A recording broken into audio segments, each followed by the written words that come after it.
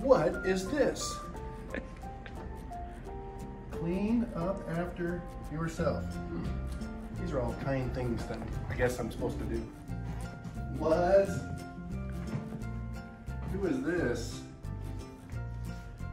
Huh. There's a note. It says, make a thank you card for the officers and local police station, officers at your local police station and fire station. Excellent.